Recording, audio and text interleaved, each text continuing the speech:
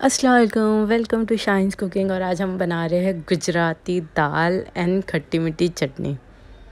ये मेरे घर की मोस्ट फेवरेट है। इसके लिए हम लेंगे डेढ़ सौ ग्राम तुअर दाल। ये मैंने धो के रखा है, उसमें थोड़ा पानी डाला है बॉईल के लिए। दो टमाटर, इसका पूरा छिलका निकाल लिया मैंने, कट छोटे छोटे पीस कट करके। अब इसमें डालेंगे हम एक चम्मच हल्दी और नमक।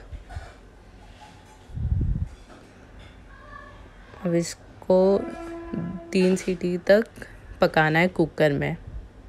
अच्छे से बॉईल पूरे गल जानी चाहिए दाल।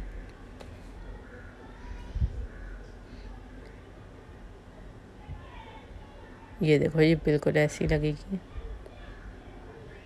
थोड़ा ज़्यादा पानी भी है तो इट्स ओके नो इश्यूज़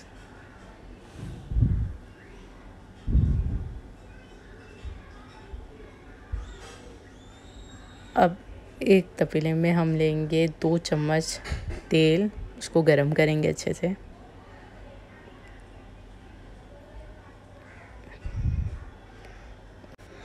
एक, उसके बाद एक बड़ा चम्मच जीरा लेंगे।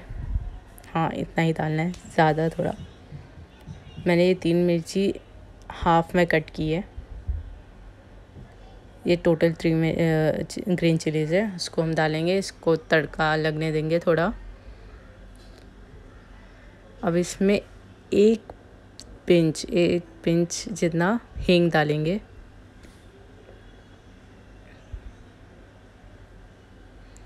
अब इसमें हम वही बॉयल दाल डाल देंगे। तड़का हो चुका हमारा रेडी अब इसमें डालेंगे हम बॉयल दाल। बहुत इजी रेसिपी है प्लीज़ ट्राई करो घर पे और बताओ कैसा बना है ओके अब इसको एक एक उबाल आने तक फिर से पकने देंगे।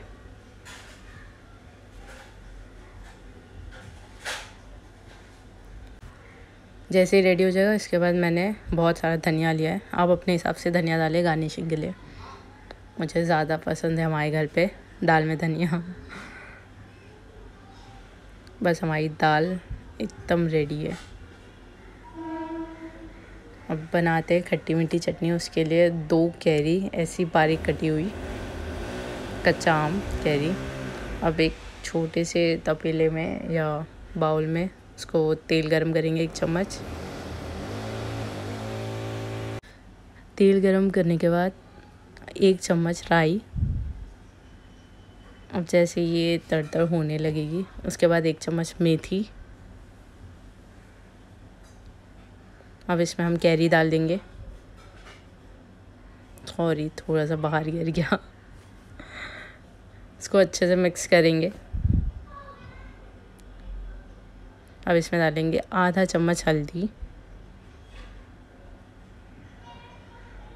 और आधा चम्मच लाल मिर्ची का पाउडर इसको अच्छे से मिक्स करेंगे पूरा। स्लो फ्लेम पे रखना। लो फ्लेम पे।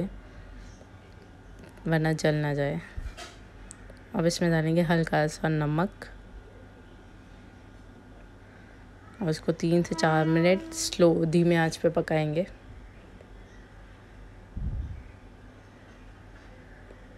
इसमें हम डालेंगे दो बड़े चम्मच शक्कर। यहाँ पे मैंने मेरा कप लिया है ऑफ़ कोर्स दो बड़े चम्मच शक्कर और उसको, शक्कर मेल्ट होने तक उसको अच्छे से मिक्स करेंगे, पकाएँगे।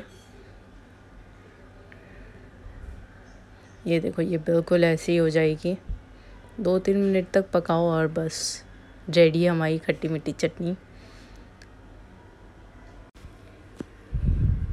अभी इसको चावल गर्मा गर्म चावल और दाल के साथ खट्टी मिट्टी चटनी खाते हैं यूजुअली हम लोग। तो आप भी ट्राई करना घर पे। बहुत इजी है, कोई भी बना सकता है। सो प्लीज़ प्लीज़ प्लीज़ ज़रूर घर में ट्राई करना। गुजराती दाल, खट्टी मिट्टी चटनी। और प्लीज़ मुझे बताना है कैसी बनी है। आई होप ये वीडियो आपको पसंद आई हो।